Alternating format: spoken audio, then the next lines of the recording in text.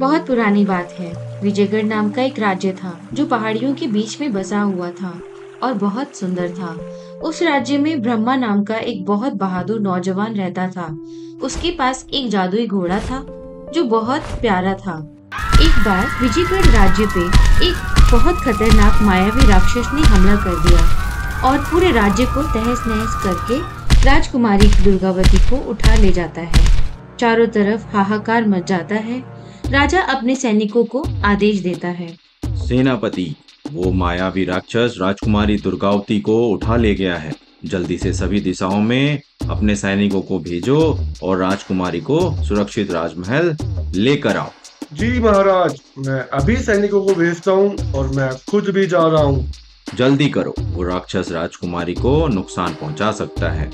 जी महाराज। सेनापति तुरंत सैनिकों को आदेश देता है सैनिक निकल जाते हैं। पूरे दिन ढूँढने के बाद सैनिकों को कोई सुराग नहीं मिलता। अगले दिन। सेनापति क्या हुआ? कुछ पता चला राजकुमारी का? नहीं महाराज सैनिकों ने पूरे राज्य में ढूंढा है पर राजकुमारी का कहीं नहीं पता चला। सेनापति सारे राज्य में ये घोषणा करवा दो कि जो राजकुमारी को सही सलामत लेकर आएगा उसे उपहार स्वरूप एक लाख स्वर्ण मुद्राएँ दी जाएँगी। राजा की घोषणा के बाद पूरे राज्य में सब लोग अपने अपने तरीके से राजकुमारी को ढूँढने लग जाते हैं। ये बात ब्रह्मा को भी पता चलती है। ब्रह्मा और उसका दोस्त सत्या दोनों जंगल के किनारे बैठे होते हैं।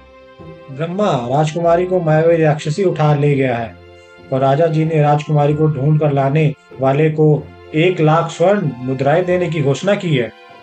सत्या स्वर्ण मुद्रा से ज़रूरी है राजकुमारी को ढूंढना। ये हमारे राज्य की इज़्ज़त का सवाल है। बात तो तुम सही कह रहे हो ब्रह्मा। मुझे लगता है मायावी राक्षस राजकुमारी को पहाड़ी के उस पार काली घाटी में ले गया होगा क्योंकि वहाँ कोई जाता नहीं है। पर तुम वहाँ जाओगे कैसे? और वो जगह बहुत खतरनाक है सुना है। सत्या मैं जाऊँगा और अपना जादुई घोड़ा कब काम आएगा? ब्रह्मा अपने जादुई घोड़े को मन में याद करता है और तुरंत उसका घोड़ा उसके सामने आ जाता है। ब्रह्मा अपने तलवार के साथ जादुई घोड़े पर सवार होता है और घोड़े को काली घाटी में ले जाने को कहता है। घोड़ा थोड़ी दूर दौड़ता है और वह हवा में उड़ने लगता है। कुछ पल में वो काली घाटी में पहुँच जाता है। जादुई घोड़े हमें राजकुमारी को ढूंढना है। समय बहुत कम है। जादुई घोड़ा समझ जाता है और तेज़ी से इधर उधर चारों तरफ़ भागते हुए राजकुमारी को ढूंढता है। थोड़ी देर में उन्हें एक बड़ी सी गुफा दिखाई देती है। जादुई घोड़े उस गुफा की तरफ़ चलो। मुझे लगता है उस मायावी राक्षस ने राजकुमारी को उसी गुफा में कैद कर रखा होगा। जादुई घोड़ा तुरंत उस गुफा के दरवाजे के पास पहुँचता है और ब्रह्मा अपनी तलवार हाथ में लेते हुए वो घोड़े से नीचे उतरता है। तुम यहीं रुको मैं देख के आता हूँ कि अंदर कोई है क्या। ब्रह्मा जैसे ही अंदर पहुँचता है क्या देखता है? चारों तरफ़ हड्डियों का ढेर लगा है।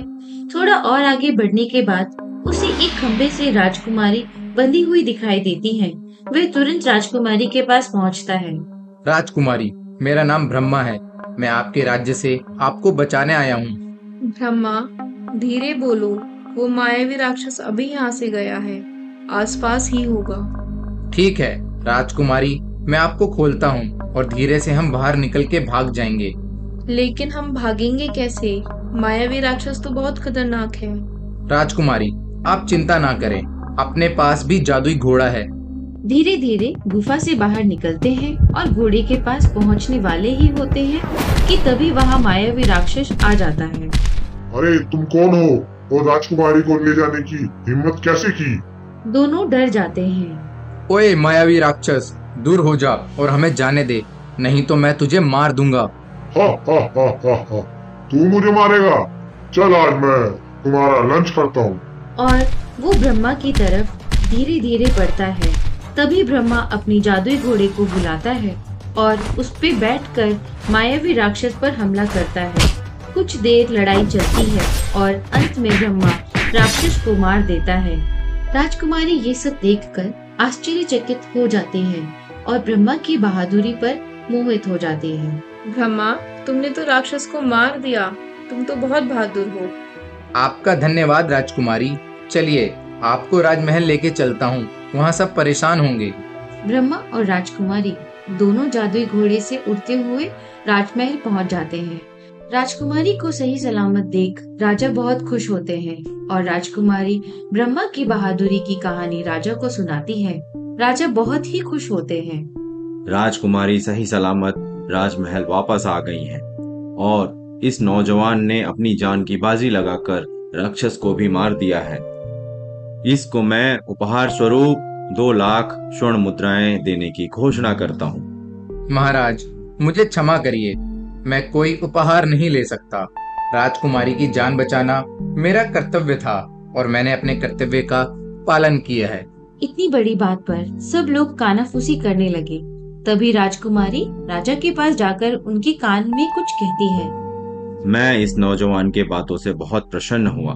इसकी बहादुरी तो सबने देख ही लिया और अब मैं इसको अपने देश का उत्तराधिकारी घोषित करता हूँ और इसका विवाह राजकुमारी दुर्गावती के साथ करने का आदेश देता हूँ। इस तरह दोनों की शादी बड़ी धूमधाम से होती है और सब लोग खुशी खुशी से रहने लगते हैं। तो दोस्तों अगर आपको हमारी वीडियो पसंद आई है तो इसे लाइक करें और ऐसे ही और वीडियोस देखने के लिए हमारे चैनल को सब्सक्राइब करना ना भूलें।